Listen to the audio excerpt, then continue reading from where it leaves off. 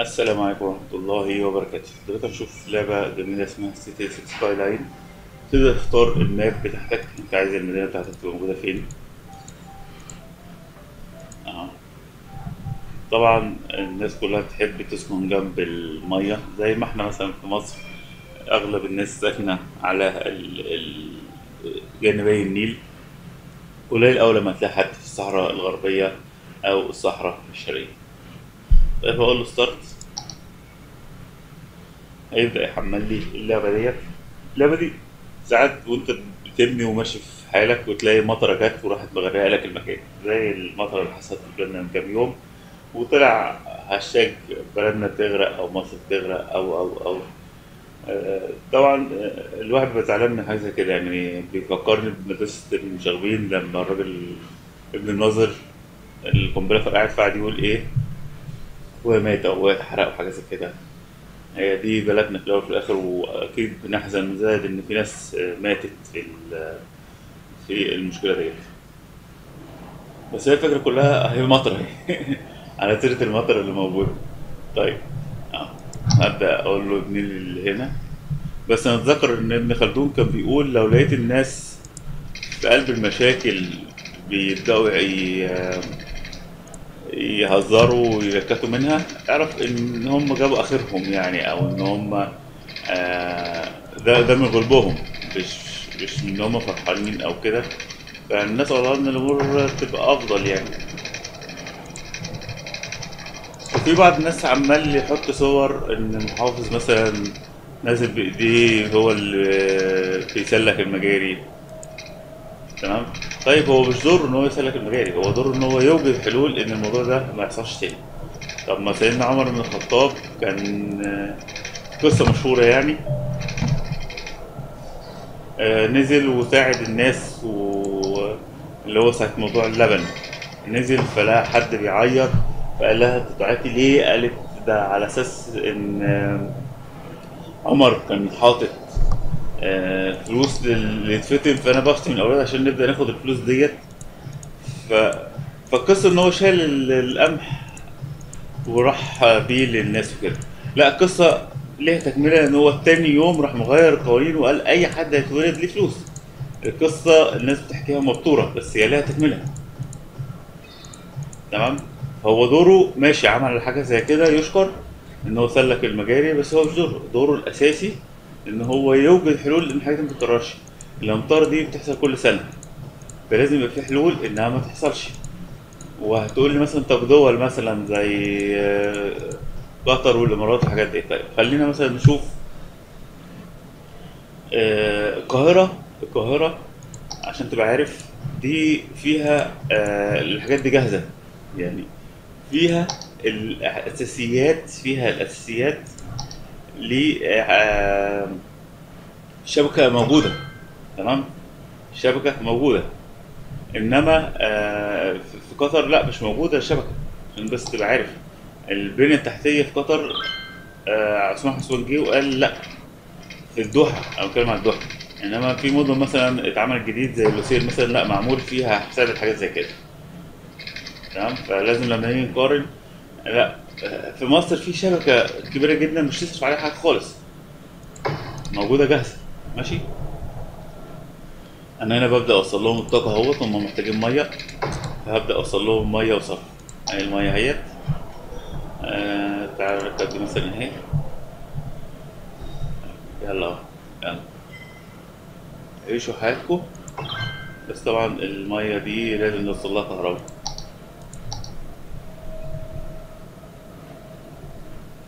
هي المفروض إن هي وصلها بس خلينا إيه؟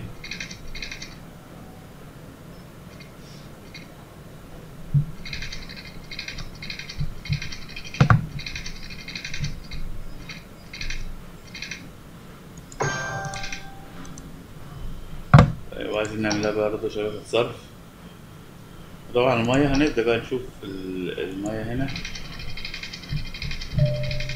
المهم إحنا ماشيين ما ندمرش أي بيوت. لو دمرنا أي بيوت نديهم عائد كويس مصر فيها ش- شبكة من أفضل الشبكات ال- اللي موجودة يعني اللي عملها كان ال- الملك. فمصر دولة كبيرة مش صغيرة بحيث إن أي مطر تغرقها. لا ما ينفعش. طبعا نهتم بالمدينة تحت شوية برضو. عايزين نعمل لهم شبكة صرف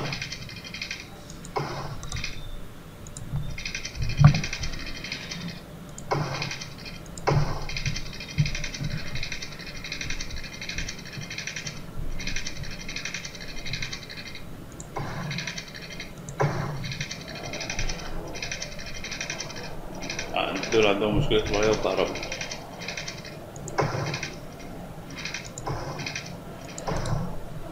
طيب ال drainage فين بقى؟ ال drainage للأسف لو أنت معكش فلوس بتضطر ترمي هنا وبعد كده بنبدأ بقى ننضف وأبدأ أرسم ماسورة من هنا. ونرسم بقى الكهرباء.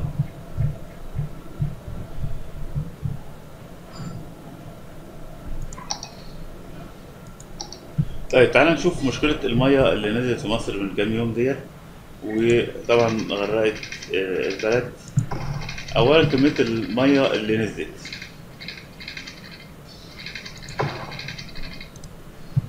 لو إحنا بصينا على كمية المية اللي نزلت 650 مليون آه، مكعب.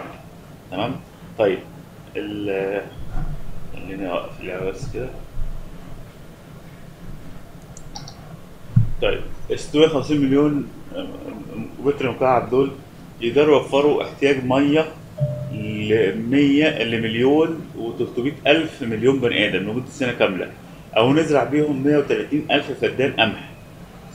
وده بيزيد عن نسبة الزيادة السنويه المطلوب زراعتها قمح في مصر في 2019 اللي هم 120 يعني هيبقى 130 توفير 26000 فرصة عمل في المجال الزراعي باستصلاح أراضي جديدة تستهلك المية. ديت أو توفير أكثر من 1% من كمية المية اللي جاي- جاية لنا من إثيوبيا. يعني كمية المية دي على مستوى مصر كلها مش القاهرة بس ممكن توفر لنا المية اللي جاية من إثيوبيا. وإحنا في إثيوبيا هنتكلم فيها بالتفصيل إزاي نحاول نعالج الموضوع دوت وإزاي آه، نقدر نحصل على المية بتاعتنا ومحدش يقدر يجيله دراعنا يعني المية دي خير وفيها خير كتير جدا بس إن إحنا نحسن استغلاله ويبقى في شبكات خاصة بالمية وتتاخد وتتعالج والحاجات دي. للأسف هي بالنسبة للمدن القديمة هو في عدم صيانة للحاجات ديت. يعني المصارف نفسها اللي المفروض تاخد المية دي وت- وتخرجها بره مسدودة بسبب إن مفيش حد بيهتم هو يسلكها طول السنة. ما إحنا عارفين إن في مية بتكرر عارف لو الموضوع ده حصل في مرة خلاص بنبدأ نشوف في حصل سيل أيام عمر بن الخطاب. فراح آه، جمع الناس كلها وقال إحنا لازم السيل ده نشوف له حل في مكة. فقال لك المية بتتجمع في جبل معين وبتنزل. طب إحنا هنعمل سد بحيث إن هو يجمع المية دي في وادي بعيد فيبعده عن مكة وفي نفس الوقت نستفاد منه. فكانت فكرة جميلة جدا ده أيام عمر بن الخطاب. إحنا دلوقتي عندنا التكنولوجيا الحديثة. ليه ما نبدأش نحاول نستغل كتر كل قطره مية نحاول نعمل إعادة استخدام للمية ديت. في ناس كتيرة بتستخدمها بتحولها لمية صالحة للشرب مية المجاري مش بتكلم عن مية المطر. مية المطر سهل جدا معالجتها بس بتبقى ليها شبكة صرف خاص بيها. وإحنا موجود الموضوع ده في سنغافورة وموجود الموضوع ده في هولندا وفي دول كتيرة جدا إن هو بيحول مية الصرف ديت بتمر على معالجات كتيرة تطلع مية صالحة للشرب بعد ما بيعملوا الأبحاث بتاعتها. كان في راجل دكتور بتاع أبحاث جه الجامعة هنا في مصر فقال لهم أنا عايز مية كده أساس هيوريهم حاجة في تنظيف الزجاج وحاجة زي كده. فجابوا له مية. قال لهم بيعمل التجارب بتاعتهم. قال لهم غير صالحه للشرب فجابوا له مية معدنية. قال لهم برضه دي غير صالحه للشرب الآدمي. فإحنا محتاجين يكون في ناس بتراجع وتشرف وتتأكد إن المية دي صالحة للشرب ولا لأ. فدي دي أرواح ناس. مش موضوع سهل ولا بسيط. يعني المفروض إن إحنا آه، نهتم بيه. المفروض ال- كل صرف صحي دوت يبقى فيه آه، إمكانية إن أنا آخد المية دي أستفاد منها حتى ممكن أعمل لها معالجة وأسقي بيها الزرع اللي موجود في الطرق. لازم يبقى في صيانة لكل آه، المسارات بتاعت المية ديت. أول ما هتيجي مطرة هنعمل إيه لحد ما نوصل هناك؟ مفيش حاجة اسمها الوزير ينزل ينظف ويصور والحاجات دي كلها.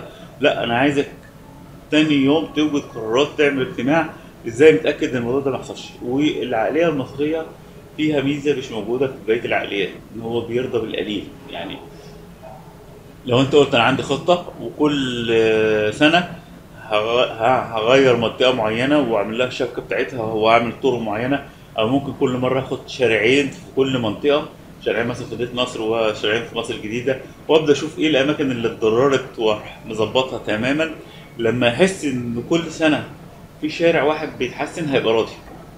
الدكتور عبد الله بن نصير كان الناس عنده ضيوف خلصوا وم- ومروحين فهو بيوصلهم فراكب العربيه والطريق كله واقف فكل شوية الطريق يتحرك ثانية. ف...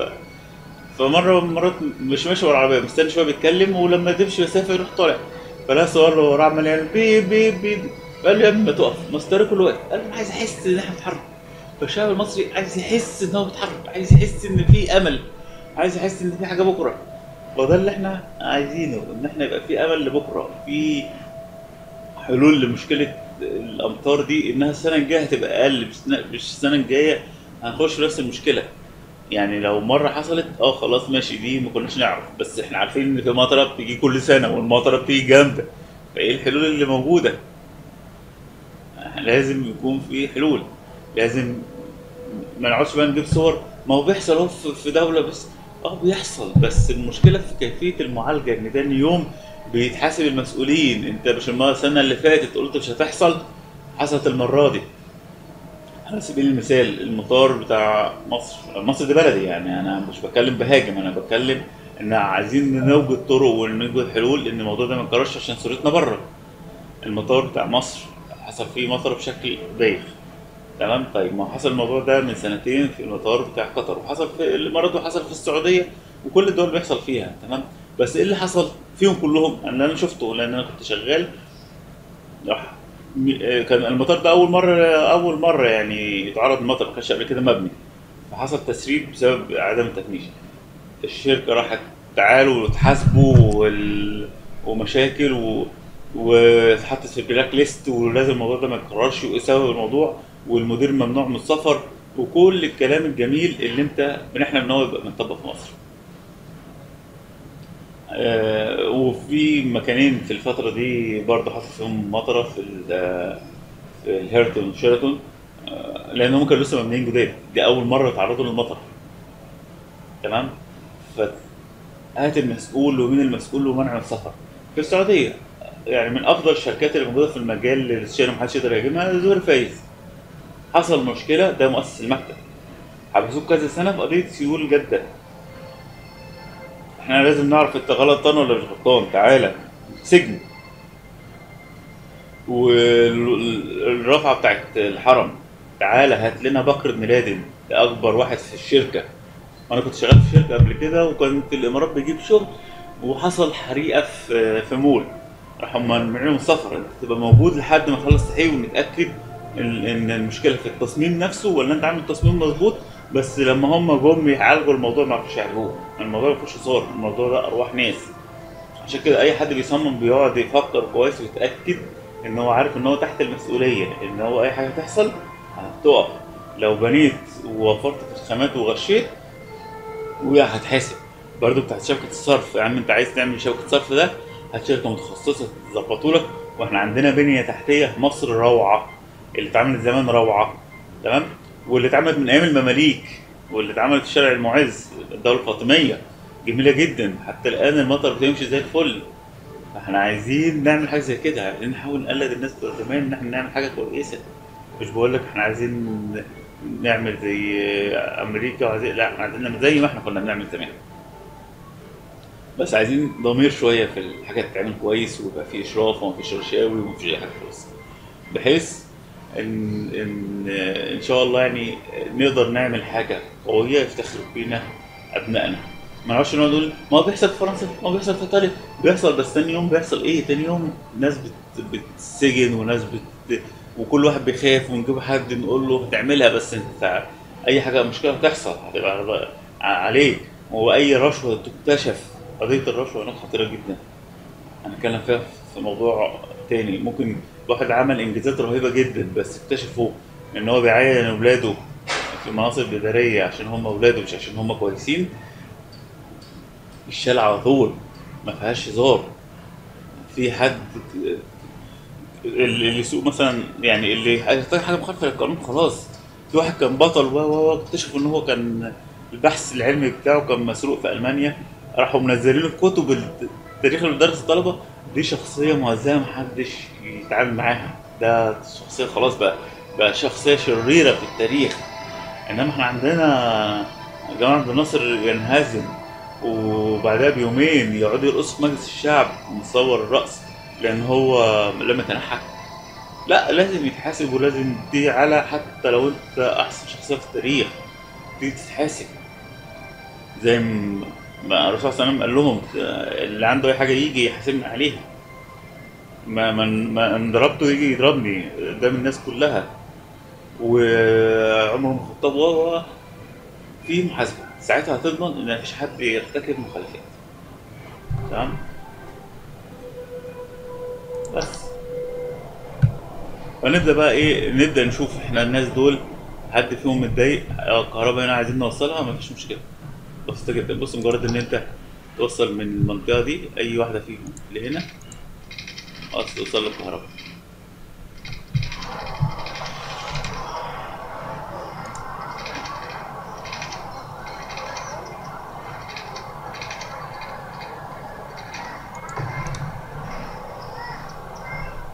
هتلاقي بقى الكهرباء وصلت هتلاقي الناس رضيت فإحنا عايزين الناس برضه ترضى عننا في مصر إن إحنا عاملين لهم حاجة كويسة يفتخروا بيها.